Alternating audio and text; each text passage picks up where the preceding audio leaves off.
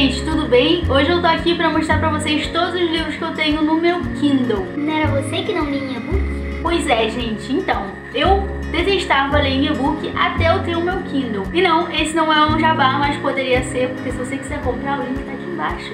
Gente, eu realmente detestava ler em e-book até que eu tive meu Kindle e realmente é muito, muito, muito mais prático. Meu maior fetiche é ter meus livros físicos, então eu cuido deles muito direitinho, eu deixo ele guardadinho, tô sempre limpando e eu não gosto nem de emprestar meus livros. Por isso, eu fico muito receosa de levar ele para outros lugares para ler. Porque a maioria dos lugares que eu leio não é em casa. Eu sempre tô lendo no ônibus, na rua, na fila do banco, em algum outro lugar que eu tô. E aí surgiu a oportunidade de eu comprar o Kindle. O meu veio de segunda mão, eu peguei bem baratinho, mas eu me arrependi de não ter comprado o Kindle Paperwhite, porque o Kindle Paperwhite, pra quem não sabe, tem a luz interna. E aí se você quiser ler de noite, no quarto, não precisa ficar acendendo a luz e tal. Até no ônibus mesmo, a gente passa no túnel, o ônibus não tá muito iluminado. É muito bom ter o Kindle Paperwhite. E eu peguei o Kindle, tô amando, é muito mais prático. Assinei o Kindle Unlimited. Tem diversos livros já no meu Kindle e eu vou mostrar todos eles aqui pra vocês. Se você tiver interesse em comprar o Kindle normal ou o Kindle Paperwhite, os links vão estar aqui embaixo e aí você vai ajudar muito, muito o canal a crescer comprando com esse link, tá? E é isso, sejam bem-vindos ao meu Kindle. Bom, gente, então vamos lá. Esse aqui é o meu Kindle. Eu acho que ele provavelmente deve ser da quinta ou da sexta geração. Eu não tenho uma capinha pra ele. Na verdade, na rua eu uso essa capinha que eu fiz aqui. E eu coloco assim e fecho pra não ficar arranhando ele. Ela é acolchoada. E aí protege a tela. Assim que você desbloqueia o Kindle, tem a página inicial dele que ficam aqui em cima suas últimas três leituras e aqui embaixo algumas indicações de livros que a própria Amazon sugere que você pode gostar ou não, né? Vamos abrir aqui então a biblioteca.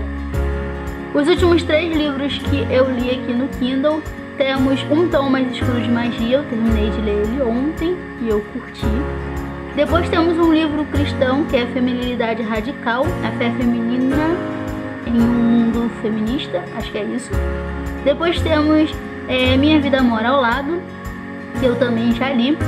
Um livro da Terry Fisher, que eu fiquei com muita vontade de ler após uma indicação de um booktuber, não lembro quem foi, que é Ruiva Suja. Depois temos aqui Interferências, que é um livro de ficção científica. Um de Nós Está Mentindo, que é um livro que eu tô querendo muito, muito, muito ler. Eu falei disso na tag dos 50%, que é uma, um lançamento desse ano, mas ainda não li. Passando aqui para a segunda página, temos Corte de Asas e Ruínas. Acredito que seja o segundo ou terceiro, não sei, é, da trilogia Corte de Espinhos e Rosas. Temos Warcross, que também é um lançamento do primeiro, do primeiro semestre desse ano. E eu quero muito, muito ler. É parecido com o Jogador Número 1, então não tem por que eu não ler.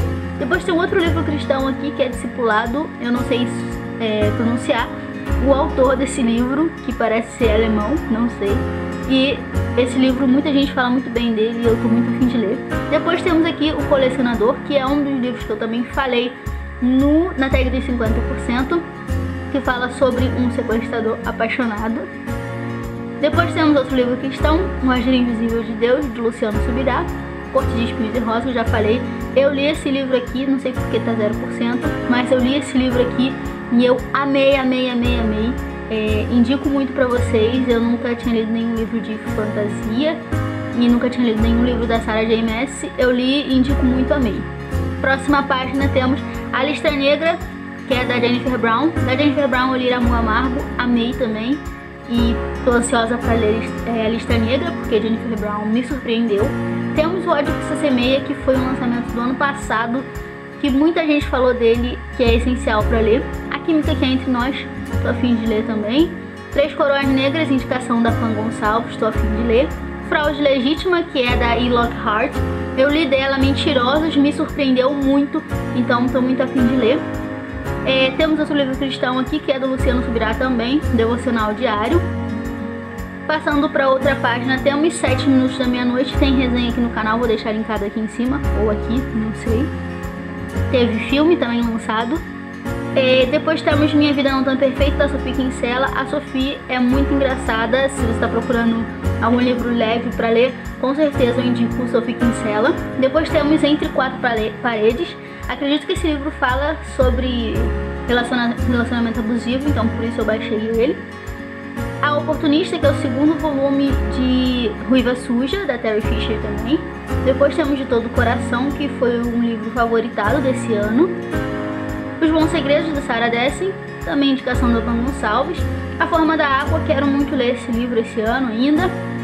A Garota no Trem é um livro de suspense, é meio uma autora de Em Águas Sombrias, né, Paula Hawkins. Pequenos Incêndios por Toda Parte. Os 13 Porquês, que também já li. Guia de Usuário do Kindle. Além Mundos, do Scott Westerfield. O Ar que ele respira, tô muito afim de ler. Bárbara Sá falou muito dele, então. A Colônia, também tô muito afim de ler.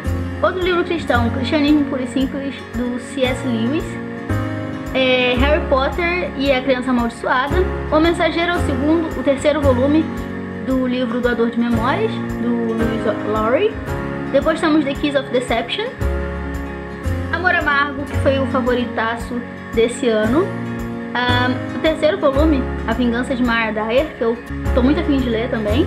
O Ano Que Eu Disse Sim, O Casal que Mora Lado, que é um suspense bem legal. O Ceifador, que eu quero muito ler esse ano. O Homem de Giz, também quero muito ler, não sei se esse ano ainda. Na outra, pra... Na outra página temos Juntando os Pedaços, da Jennifer Niven, a mesma autora de Por Lugares Incríveis. Proibido é um livro que é muito hypado e também muito polêmico, mas eu vou tentar ler. A Rainha de Tirling, O Sol também é uma estrela, da Nicola 1. É, o Homem de Giz, para todos os garotos que já amei. Seguindo aqui, na outra página temos Encarcerados, é um livro que o Vitor Almeida do Big Freak está falando muito dele, então estou muito afim de ler. Terceiro volume da série Amores Improváveis, da Ellie Kennedy, que eu também quero ler, que é o jogo. A Mulher da Janela. Boomerang, que é um romance levinho, uma comédia romântica aí. A Geografia de Nós Dois, não sei se eu estou muito afim de ler. Temos uma amostra aqui de outro livro cristão, que é A Batalha do Apocalipse. Na outra página temos A Evolução de Mara Dyer, é o segundo volume da série que eu amei. Depois temos O Médico e o Monstro, ou O Estranho Caso de Dr. Jekyll and Mr. Hyde. Eu também li esse livro, gostei bastante, é bem rapidinho. Temos aqui Belo Desastre, não sei porque está 100% se eu ainda não li, mas... Outro guia de usuários do, do Kindle, Todo Dia, do David Leviton. Eu amei esse livro, meus recortes. Depois temos aqui O Temor do Senhor, que é outro livro cristão do John Brave. É, ainda não li, queria começar a ler, estou muito ansiosa. Fiquei com seu número, que também é da Sophie Kinsella, uma coisa bem levinha. Quero ler também, uma comédiazinha, né? O guia de usuário do Kindle novamente. A Joia, Lola and the Boy Next Door, que é Lola e o Garoto da, da Casa ao Lado. Eu li esse livro faz muito, muito tempo, mas eu quero voltar a ler, por isso tenho ele aqui em inglês. Não sei se vou ler em inglês ou em português, vamos ver se eu consigo ler em português, que é o que tá aqui, senão eu tento comprar o próprio livro físico, que eu já tenho Anne e o Beijo Francês e aí leio o Final Feliz e volto só a Lola, o Garoto da Casa ao Lado, pra completar a coleção do livro físico. Depois temos aqui o primeiro livro da série de Aventuras em Série, esse livro aqui é em inglês, então talvez por isso eu não tenha lido ainda. Passando aqui para a penúltima página, temos The Girl in the Ice, que é A Garota no Gelo, ainda não li também. O quarto da Emma Donegan, que eu li no livro físico, vi o filme, amei. Temos outro aqui que é o Endgame, também quero ler, ainda não li. O Garoto dos Olhos Azuis, também tenho aqui, mas ainda não li.